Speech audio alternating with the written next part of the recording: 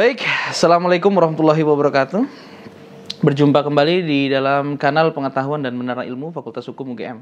Ya, kembali lagi dengan saya Muhammad Fatahil Akbar dari Departemen Hukum Pidana. Saat ini kita mengkaji banyak hal ya, terutama di bidang hukum pidana dan perkembangannya. Kita bisa melihat dari sudut pandang kebijakan hukum pidana. Ya, ini dalam hal ini bagaimana putusan Mahkamah Konstitusi berpengaruh dalam perkembangan hukum pidana kita di Indonesia. Dalam hal ini, saya akan menyampaikan hasil penelitian Departemen Hukum Pidana yang kami laksanakan berdasarkan hibah Departemen yang diberikan oleh Unit Riset dan Publikasi. Pertanyaan-pertanyaan yang timbul adalah sejauh mana sih putusan MK itu berpengaruh? Dalam hal ini, saya harus sampaikan bahwa undang-undang yang mengatur pidana, baik dia berada dalam KUHP maupun di luar KUHP, hukum acara pidana baik yang di dalam KUHAP ataupun yang di luar KUHAP, dan peraturan pidana lainnya yang terkait itu banyak sekali yang terpengaruh dengan putusan Mahkamah Konstitusi. Dalam hal ini saya akan menyampaikan kesimpulan besar dari uh, penelitian kami terlebih dahulu.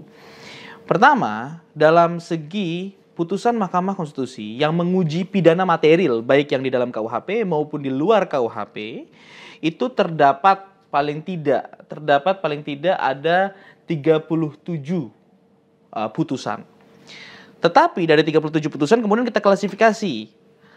Ini menarik karena hanya 8 putusan Mahkamah Konstitusi yang mengabulkan permohonan uji material tersebut. Ya, ada di dalam KUHP. Ya, sebagai contoh adalah perbuatan tidak menyenangkan yang dihapus, penghinaan presiden yang dihapus. Sebagai contoh, di luar KUHP sebagai Contoh juga menghapus sifat melawan hukum material dalam Undang-Undang Tindak Pidana Korupsi dan kemudian menghapus frasa kata dapat sebelum kerugian negara dalam Undang-Undang Tindak Pidana Korupsi. Itu adalah berbagai contoh bentuk putusan dari delapan putusan yang kita bisa lihat mengabulkan.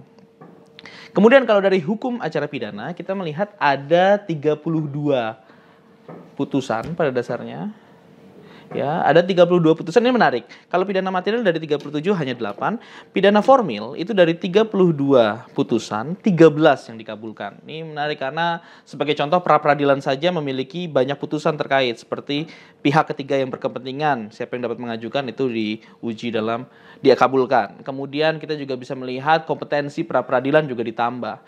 Kemudian kita juga bisa melihat dalam pra peradilan upaya hukum dalam kasus tertentu dalam pra peradilan juga di hapus oleh MK dalam putusan yang dikabulkan.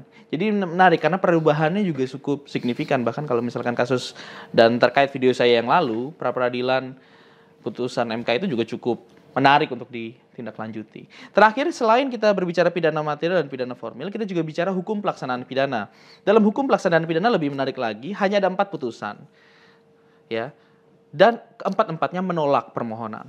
Terkait sebagai contoh adalah putusan penitensier pelaksanaan pidana mati. Dalam pelaksanaan pidana mati eh, kemudian ditolak karena banyak teroris yang mengajukan permohonan mereka tidak ingin diga, mereka tidak ingin ditembak mati, mereka inginnya digantung gitu ya. Padahal kebanyakan orang uh, lebih mending ditembak daripada digantung kalau dalam istilah lainnya. Oke, okay, jadi sebagai contoh itu adalah kesimpulan besar dari penelitian Departemen Hukum Pidana Fakultas Hukum UGM yang mudah-mudahan bisa diterima secara publik.